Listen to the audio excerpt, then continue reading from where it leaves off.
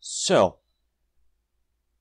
what have I been up to? For the last six ish months, since June 2018, I have been working away on some goofy little prototypes. So far, I've been working off uh, prompts from a GDC talk and based on a lecture. Uh, I'll throw that link in the description below. So, yeah, so I've worked on uh, a number of different prototypes, several different games. Uh, just been trying to learn a lot, trying to get into the groove, and ideally, uh, trying to come up with an idea that I think has some potential for a more fully featured game.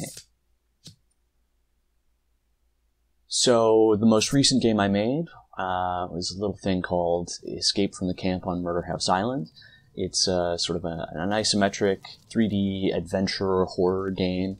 Uh, what I wanted to do was incorporate a lot of roguelike and survival horror mechanics uh, along with old school sort of text parser adventure game mechanics in the hopes that that stress of needing to uh, type things while monsters or ghosts in this case are trying to hunt you down and kill you would sort of up the ante, increase the stress, lead to some good moments, um, sort of replicating that, replicating the feeling of fumbling with your keys at the door as the killer closes in. So that was sort of the, the goal of that.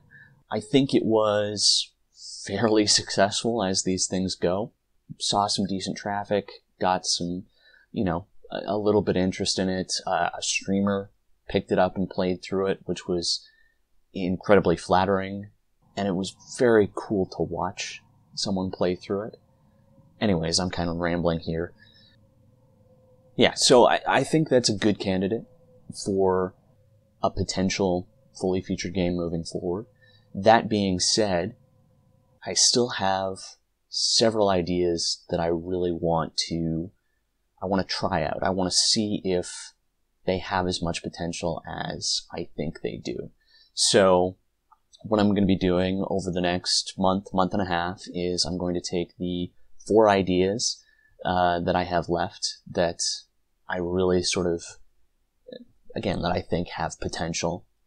And I'm going to spend a week, two weeks tops, uh, developing each of these uh, into just a little playable prototype, trying to find the that core game loop, that kernel of fun, and then I'm going to release them for free on my uh, itch.io page.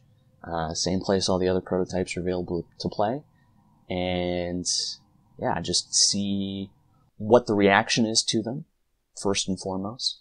Um, I don't know first and foremost. See what the reaction is to them and see how I feel about uh, the potential that these prototypes have. Uh, going to be talking to a lot of people. Would be thrilled to hear uh, more comments, more reviews, more suggestions from people who played the games. And yeah, then sometime end of February, let's say, I'm going to pick the prototype which I think has the most potential, and I'm going to start building it out into a fully featured game. Uh, plan is right now to release a short little video uh, once a week, a brief overview of what I have been doing, what I'm going to be doing, or at least what I think I'm going to be doing. Um, and just a, a chance to interact, answer any questions if anyone has anything, as well as showing off some video of what I've been working on, how it's coming along, and uh, also planning to do probably a little bit of uh, design discussion. You know, what did I try? What worked? What didn't work? What corners am I cutting in order to make deadlines? All that kind of thing. So yeah, thanks for checking this out, and I hope I will see you here next week uh, down in the comments, you know, you can reach out to me on Twitter, on itch, uh, leave comments, reviews, whatever. I uh, hope to hear your thoughts on the various prototypes that I have made and that I will make moving forward. So yeah, thanks for stopping by and checking this out, and I will talk to you all later. Bye.